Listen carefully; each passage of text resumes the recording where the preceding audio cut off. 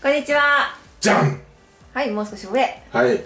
はい。はいおめでとうございます。はい。はいここもちょっと起きますからね。ということで、はい、奇跡のまあ奇跡って まあねまあき連敗から始まってるわけだからそうなですね。奇跡の大逆転。っていうのはまあちょっと大げさに書きましたけども、ね。まあ、あのシーズンの時もそうだったので、まあそうだね。2回目ということでそれはかなり奇跡かなというまあそうことで、だね。まあ再び、うん。まあ実力的には、うん。もう双璧と言われたね、うん。まあヤクルトとのそうあの一戦だったんだけども、はい。ただその連敗から始まってるしね、うん。うん。勝てる試合を勝てなかったりだとか、はい。ね山本が離脱したとか、ね、いろいろそういうことを考えたら、まあ、はい奇跡の大逆転で、うん。まあ、オリックスが優勝おめでとうということで、はい。ね、日本一26年ぶりということでね、はい、5度目ということですはい。ね。5度目の優勝ということでした。はい、ね。もうこの、えーっと全部で7戦？7戦全部で7戦、目まぐるしかったですね。いやーまあ見てる方も疲れたと思うけども、うん。やってる方はねやっぱ相当疲れたと思うよ、いや、そうでしょうね。うん、まあ総評はね、うん。もうちょっとまた後にして、はい、ということで、えー今日のゲームどういう一戦になったか、はい。まあとにかく昨日の負け方がヤクルト悪かったんで、うん、どう切り替えてくるかなというようなねまあそういうこともあったんだけどもさあ、メンバーをねちょっと見てみましょう。まず今日のオーダーですが、はい、まあこういうまあ、ヤクルトの方は、はい、キブレハンを入れてきた。うん、そのために、うん、サイスニードが投げる。はい、あ外国人枠どうすんの？ね。と外国人枠をどうするのかって言ったら、はい。マクガフはい。をベンチ外にしたということでね、うん。やっぱ状態も悪かったし、まあ、これも仕方ないのかなっていう。そうですね。でキブレハンを2番に入れてきた、はい。もう超攻撃型と言ってもいい、うん。もうバントなんかしないよっていうような、うん。まあ、そういうところが伺われたんだけども、はい。まあこういうようなメンバーで、はい。オリックスの方はもう変える必要がないよね。昨日いい勝ち方してるし、はい、もうピッチャー宮城投手のとこ以外は、変わらなかったね。変わってません。はい。ということでどういう試合になったかということをはい、見ていきたいと思いますが、はい。ままあいい試合になったね、あなんとも見応えのある、うん見応えのあるというか、いろんなことがありましたね。5対0になった時点ではもうもう楽勝だなっていうふうに思ったんだけどもね、うん。やっぱそうは問屋が下ろさなかったね。はい、ドラマがありましたなよか。ったね。はい。はいいきますよ。はい。はい昨日はい昨日なんて言ったヤクルトの方？ヤクルトの方は選手権必須ということでしたね。うん、ということは取られちゃいけないっていうことだよね。そうでございます。はい。で一番思ったね初球ホームランしかも、先頭打者、はい、これ史上初らしいんでね。シリーズでは初のようですね。え初球のホームランっていうのがね。これはどうでしたか？その嫉妬っていうことでしまあ、ょうか、うん、まあ嫉妬っちゃ嫉妬だよね。外狙ったのがインサイドにちょっとシュート回転して入ってきてでもそれを逃さず打った太田っていうのはやっぱ昨日の勢いそのままに打席に入ってきて1点を一人でもぎ取ったという、うん。この1点っていうのはやっぱすごく重かったような気がしたね、うん。まあそれでえー、うーん中川。ということで、えー中川センター前ヒット。はい。まあ吉田がね、うん。やっぱこうゴロで凡打するんだけど、うん。吉田の打球ってなぜか進塁打になるんだよ、何ですかね。いやまあいいとこに飛ぶんだよやっぱり、うん。いやそれで、えー中川がセカンドに進み、まあ、杉本デッドボール。うんで足立が、あのセカンドゴロ内野安で満塁になって紅林。はい。で紅林はあの前回のサイスニードからうん。2本のツーベース打ってんだよね、はい。で相性的にはすごくいいんだけど、まあ、その時まっすぐをね、うん。え2本ツーベース打ってて、はい。やっぱ仕留めた紅林を仕留めたボールがスライダーということで三振、うん。もうゲームが崩れそうになったんだけど、なんとかまあ、ギリギリでねあの繋いだという、はい。まあ、そんな感じでした、はい。で2回。うん。えー中村サンタナ、まあ、昨日1本のヒットしか打てなかったんだけど、はい。まあ、いきなりいきなり連打が出てあまあ多少良かったと、うん。えー連打も長岡打てずという、まあ、ショートゴロで、はい。まあ、まあその前にねオスナのあたりも宗がファインプレーして、まあ、抜けたらツーベース三塁線のあたりをこう取って、えー一塁でアウトにしたんだけどもこのファインプレーがまあすごく生きてたね。やっぱ宗選手の守備は素晴らしいですね。まあね、うん。まあ、ポイントポイントでやっぱこういいプレーを見せてくれる、はい、まあ、それとそのファインプレーの裏には、うん。今日宮城が中4日で、えー先発したんだけど、はい。プロ入り初なんだよね中4日っていうのは。うん。でもね今日の宮城はやっぱ高めに浮いてこなかった、うん。やっぱしっかり低めに低めにっていうね。やっぱ5回を一つの目処として全力で来てたね。だからはなかなかやっぱボールも切れてたしまあなかなか打てないだろうなっていうような感じがしたいうん。で問題の5回はい。まあ、ノーアウト満塁でってもうこう簡単には書いてあるけども、はい。まずね伏見がライト前ヒット。で宮城が初球を送りバントするんだよね、はい。そしたらピッチャーとサードのうん。間に強く転がっちゃって、はい抜けていっちゃいましたね。抜けちゃったんだよね、はい。これどういうことかというとさピッチャーは前進をする、うん。サードの村上ってこうラインがあったらラインからこう入ってくるんだよね、うんということはここが開くのは当然なんだよ。ピッチャーとの間がね、うんうんこれなんでラインに行くかというとやっぱボールを処理しやすいようにこうちょっと膨らむんだよね。さあの三塁線の方に。はい。もうそこちょうど抜けてったの。ああと思いながら。これもね宮城投手も狙ってそこに転がしたっていうことではないと思うよ。やっぱりこ偶然だと思うけど。ね、いろんなことが重なってでしょそううかだね。でまあ当たってる太田に回ってきてあ、はい。大谷は送りバントだと。そしたらサードに、えー封殺ができるかなっていう、うんうんね、セカンドランナー伏見だし、ん。ファーストランナーが宮城、うん。だからなんとかこのバントは阻止できるかなと思ったら、うん。これ太田がまたうまいんだよね、まあノーアウト一二塁の基本っていうのは三塁手に取らす。うんはい。それが一番て、あのー成功率が高いっていうふうには言われてるんだけども、なかなかそこにできる人って少ないんだよ、うん。でも太田の初球スライダーを見事にサードに取らすようなバントしたんだけど、うん。やっぱ村上の頭の中にやっぱ封殺っていうのがあったんだよ。サード封殺っていうのは、もうあれは村上が処理しないともうとてもじゃないけど誰も処理できない。うん。サイスニードももう後追いするような形でボールは処理したけど、はい。もうこれも内野安打になって満塁になったうと、ん。うん、だからまあこのなり方どうよと思いながらとても流れが悪い。流れ悪いなと思ってさ、それも昨日の今日でしょ？で雰囲気悪いんだろうなと思いながら、やっぱこうやろうとしてる気持ちが空回りするほどなんかもどかしいものはないよね、はい。だからそそういう状態でで胸。はいこれがノーアウト満塁の。で先頭バッター立ってくる。はい。胸がね。はい。で先頭が大事だっていうふうに言われてるんだけども、うんやっぱりインサイドのまっすぐを強く振って、まあ、引っ張ってくるだろうなと思ったけど案の定引っ張ってきたら、オスナの正面で速い当たりが、オスナがまずベースを踏んで一塁ベースを踏んでえーホームに送球。はい。その送球も見事。うん。でサードランナーはもう突っ込めない。もうタッチプレーになったから戻るはい。戻ると。戻るともうセカンドからランナーが来てるということで、はい。これゲッツーになったんだよね。そうでしたね。あこれはもう完全に流れがね来るなと思ったのヤクルトに、はいで中川。これ中川がフォアボールでつなぐんだよね。ねやっぱね後ろに吉田がいてくれるっていうことがやっぱ無理させないんだよねバッティングに。だからじっくりじっくり見ながらフォアボールを取って。それがまた嫌でしたよねうん。ヤクルトにとっては。まあそうだね、だからフルカウントになった球なんかあれ？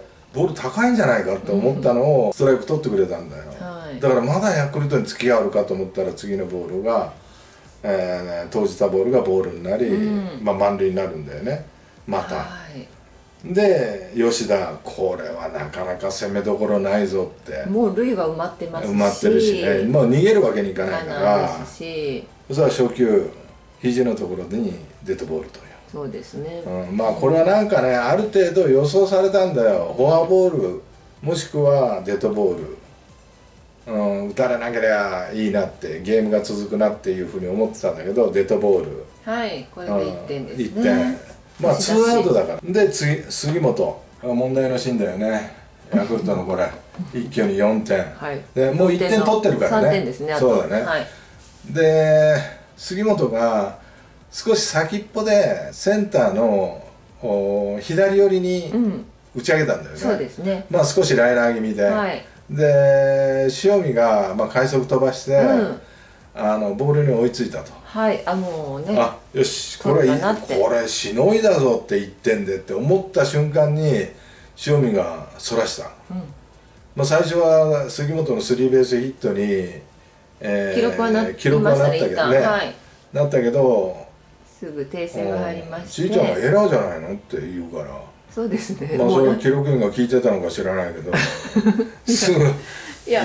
ボボールには追いついていたまあそうので、だねで触ってなくて落球という形でもなかったから。ちょっとかすってるよなですかね、うんだけどこう全く追いついてないわけじゃなくて取ったと思うボールと選手の動き動線だったので。いや俺も取ったと思ったから、はい。書こうと思ってたらちいちゃんが言ったじゃない「いや取れてないよ」って言うから「えー、あれ取れなかったの?」っていうのは例えば外野手だったら内野手でもそうなんだけども、うん。こっち側に置くとグローブが邪魔しないで、うん。ずっと視界の中にボール入ってんのね、うん。こうクロスになるとさやっぱボールが一瞬消える瞬間があるんだよ。しかも走りながらそいうそうでボールも多少揺れてると思うよ、うん。目が揺れる分だけね、はでちょっと視界から少しボールが切れたんだと思うよ、うん。そのための落球なんだと思うよな、ねそこまあ、も、落球というあかエラーということになりましたけね。ど、うん。いや一瞬ね普通にポンって後ろに抜けてたからどういうことびっくりしたよね。そうですね。まあ昨日からちょっとエラー続きというかちょねっと不運な感じもありまあますが、不運っていうかね？これは取らなきゃダメだよでも。うん。ん。でまあ一挙4点失ったということでね。はい。で5回裏。はい。ランナーあーサンタナ長岡大きい、えー、川端塩見って回ってくるんだけどもさ川端が低いと思ってんだろうね。うん。でも宮城のボールが勢いいいから審判取るんだよ、うん。でもまあどっちでもいいようなボールなんだけど一回バッターがボールって判断したボールはねストライクと思って振りに行けないんだよ。うんうんうん。だから一球も振らずに三振したんだけどもさ、はでもまあ振れるボールもなかったようなそのぐらいのいいピッチングをしたね、ん。でまあ塩見もやっぱ自分のね、えーミスを取り戻そうとしてもう振りにかかったんだけどショートゴロということで出なかったと。ねえ、はい。もうヤクルトとしては何が何でもここで点を取りたいというところだったですよね、はい。で6回からもう案の定宮城を下ろして宇田川が来た。はい。ね。まあ2イニング来て。宇田川。宇田川がね、はい、来て、え2イニングを、うん。まあ、抑えるという形ね、はーい、えーで8回はい。ね、えー山崎総一郎。今日も出ました。出ました。山崎総一郎投手。まあ宇田川もね宇田川もね、はい。あのちょっと疲れが残ってるうん。ねで山崎総一郎もどうかなと思ったら、やはい。っぱボールがいってないんだよねなあんまり、うん。で変化球で、はい。今日は目先を変えようとしたんだろうけども、はい。そううまくいかず、うん。えー塩見にライト前ヒット、はいでギブレハンキブレハンに代わって入ってた丸山がね、はい。えーセンター前ヒット、うん。えー山田三振、うん。村上ライト前ヒット、はい。で塩見が帰ってきて1点取る。なんと。あなんとなくうん。流れが来たなっていう。そうです。しかもポンポンとヒットを打たれてのランナーですそうそう、ねん。でね今日の山崎ははい。あの圧倒するボールがないんだよ、うん。やっぱ疲れだろうね、うんそれか緊張なのか。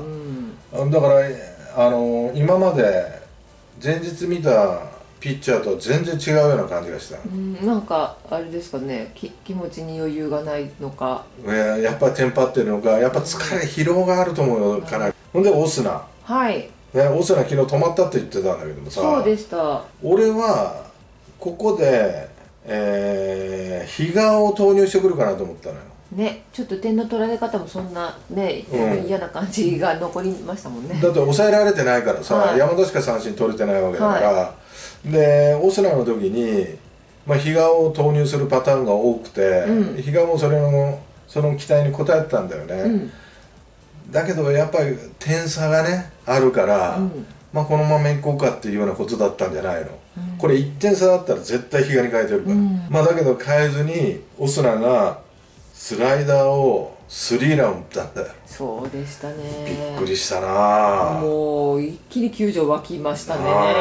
だからまだ死んでないぞみたいな、うん。まあそんな感じで一気に流れが来たんだよね。もう1点差でしたからそれで。まあそうそうそう、はい、で、まあ、4点を返して5対4になったんだよ、はい、で9回まあ書いてはないけどもあのオリックスもチャンス作るんだよね、はい。まああの伏見がツーベース福田が送って、うん。ダイソー小田はい。でセカンドランナー。あーでサードに進む、ん。太田のファーストゴロ、はい。これで一瞬落球するんだけども、はい小田が止まって、はい。また再スタートしてホームアウトになるんだよ、ん。で宗さんもうこれ完全にヤクルト追いつくパターン。もうね。流れ的にはね。そうですうん、だけどワゲスパック、はい。見事だったね、うん。センターフライショートフライ最後塩見なんかこれドラマがあるよな塩見最後でかこねう回ってくるんですよね。そうだね。まあそれで、えーまあ、三振してオリックスが日本一。はい。ね MVP は杉本と予想していました私。杉本選手はあの5回来る前に、うんさりげなく MVP とか持っていきそ言ってうだなたよな何か言ってた。言らってたよな、うん本当に持っていっちゃった、まあただやっぱ杉本は吉田の後ろに隠れてね、はい。このプレッシャーにねよく耐えきったと思うよ、はい。うん、で結果も出してたし、うん。でそんなになこう派手ではなかったけども、はい。しっかりあの自分の役目そういったものをあの果たしたよね。いや本当になんかこう杉本選手の1点が試合を決めるっていうことが、このシリーズはありましたから、そうだね、ん。はい。ちいちゃんここもはい。最後、最後の気そうにですね。ちょっと書いといて。はい。はい。ということで。ね。はい。ということで、はい。えーオリックスが日本一ということでね。そうでした、はい。4勝2敗オリックスのはい。日本一が決まりましそうた、だね。それで総評とすればさ、はい。やっぱオリックスの方はあのーまあ2連敗した後の4連勝ね、うん。この立役者はやっぱ中継ぎ陣だよ、うん。杉本と、ね、あとまあ吉田もそうだけども、はい。ただその6戦目に山本が投げれないっていうところから、うん。あのーやっぱピッチャーを前倒しにしたあ山崎幸也をうん。ね、えー勝ち投手にしてしてみたり、はい。宮城が中4日で投げてみたり、うん。まあ、苦しかったと思うんだよ。でもそれを先発投手も頑張ったけどこう中で頑張ったのは中継ぎ投手陣ね、うん。それを確立させてきた短い間にもうこのピッチャーとこのピッチャーとこのピッチャーと決めてね、うん。あのーベンチ外にしてみたり疲れをちょっと取らしてみたりだとかやっぱ中島監督の采配っていうのはやっぱ見事だったね、ピッチャーをこう操る上では。うん。でヤクルトの方5戦6戦7戦とやっぱ守備の乱れうん。これが気になったね。やっぱりなんか今までのヤクルトではないい。姿をちょっと見るシーンがありましたね。うん、それと第2戦と第5戦はうん。絶対勝たなきゃいけなかったんだよ、うん。例えばこの分けた試合はい。内山が同点ホームランを打ったよね、おおヤクルト負けなかったよかったねって。まあ周りは言ったと思うんだけども俺はあれはヤクルトは絶対勝たなきゃいけない試合だったと思う、うん。これなぜかというと宇田川も山崎総一郎も、はい。ワゲスパックも全部投げてんだよね、うんそれで延長入ってんだよ、はい。でヤクルトの方はピッチャーはまだ豊富に残ってた負けてたから、はい。はい。でも同点に追いついたらそうつぎつぎ込めるよね、うん。そこでやっぱ勝ち試合を作らなきゃいけなかったということだよね、なるほど。うん、だからこれはいっぱいはヤクルトはやばいわよく追いついて負けなくてよかったって言うけど俺はそうは感じなかったんだよね、ううんんむしろオリックスはよく引き分けたなと思った、計算としては山本勝ち、ね、2戦目はまあ負けても仕方ないっていうふうに俺は思ってたはずだと思うんだよ。